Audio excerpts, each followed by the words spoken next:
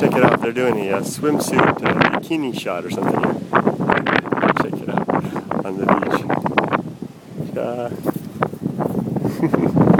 that's a you don't.